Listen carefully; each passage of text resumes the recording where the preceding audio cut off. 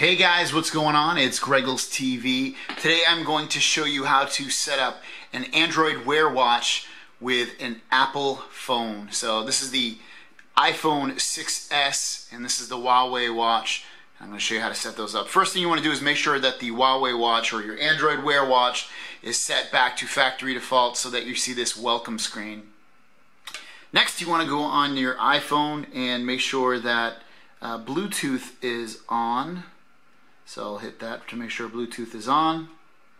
Bluetooth is now on. And what I'll do is I'm going to search, you want to search for the Android Wear app on the phone.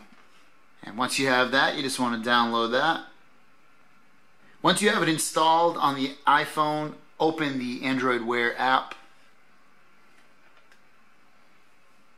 And just hit next and accept or no thanks, whatever. Enable Bluetooth sharing and hit enable. It's going to say, would you like to make data available to nearby Bluetooth devices even when you're not using the app? I'm going to hit OK.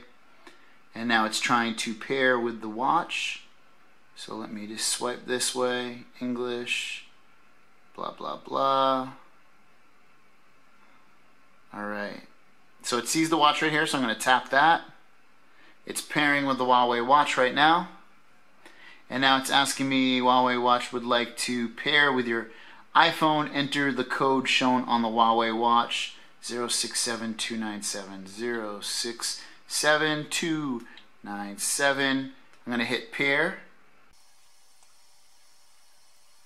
And it says that it's paired on the watch and paired on the phone. Yeah. It's updating right now, so we'll let this update, and when it's done updating, I will come back on the other side. All right, now the uh, watch is done updating. It's asking me if I want to enable notifications on here. I'm going to hit enable. And then it's asking me if you'd like to turn them on. I'm going to hit OK. And then enable on turn on location. Also hit allow.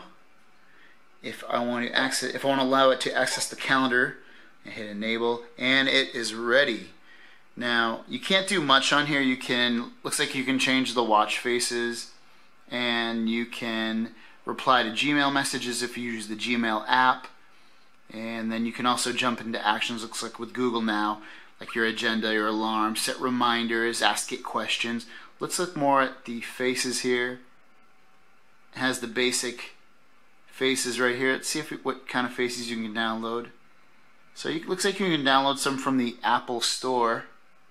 Now I'll send my wife a text message just to show you that the watch can get notifications.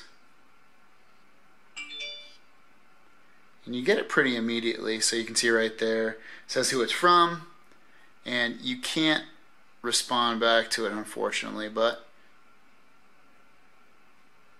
so you can only block the app, which is lame, but you can't but otherwise Works fine. Okay, Google, what is the capital of Pennsylvania?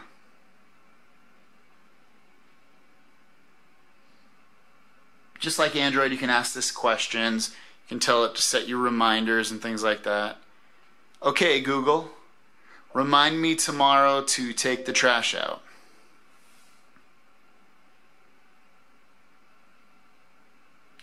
So it does a lot of the cool, same cool things that Google does on their Android phone. But other than that, there's no apps you can download it. It's really just for notifications and things like that. So, guys, if you like this video, give it a thumbs up. Don't forget to subscribe, and I will see you guys down the road. Peace.